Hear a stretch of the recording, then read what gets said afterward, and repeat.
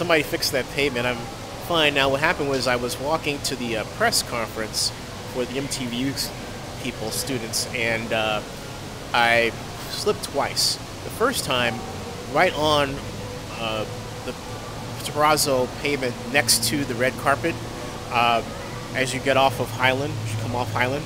And then the second time I went back really to make a video to someone just saying, hey, straighten out that pavement. And I walked out. Next thing I know, was, everything was black.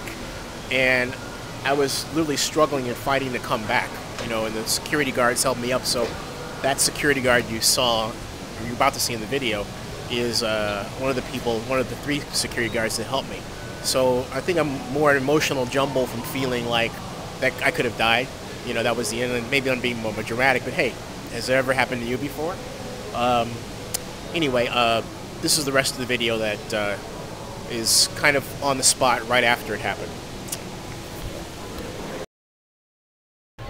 Folks, whoever designed this place, that pavement is bad for rain. I slipped twice. The last one, I'm really happy I got a hard head.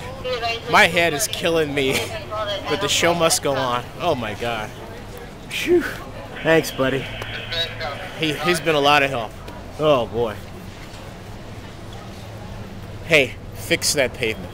Oh.